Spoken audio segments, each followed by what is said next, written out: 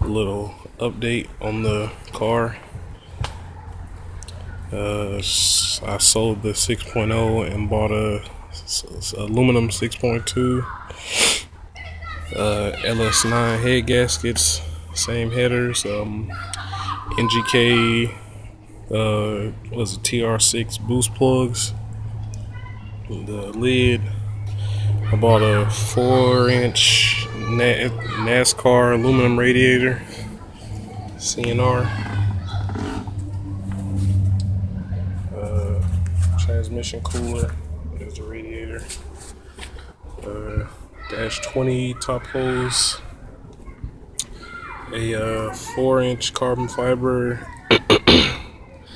NASCAR hose for the tube, and yes, this is real carbon fiber. It's not it's not fake. Uh, painted the valve covers black. Seems it match better with the lid. There's the alternator. I'm not showing the mount because fuck y'all, that's why. Uh, change the wire loom.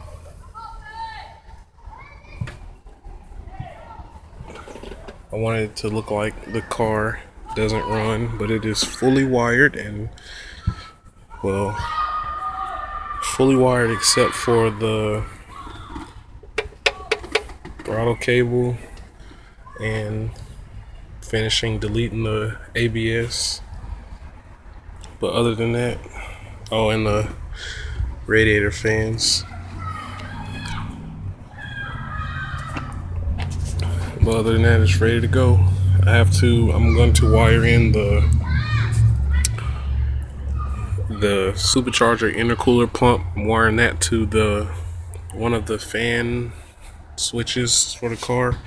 I'm just gonna run one big fan with a shroud and then use the intercooler pump as the other wires for the fan.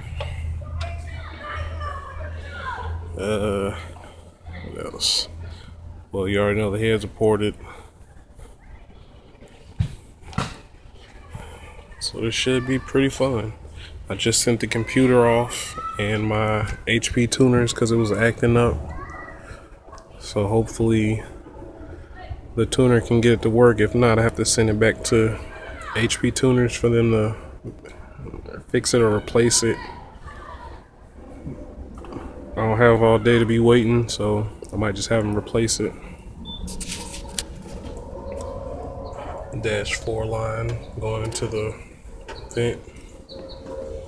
Kevlar hose. I still haven't made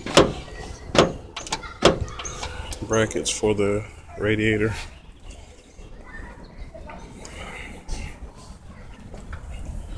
Check the clearance behind the intercooler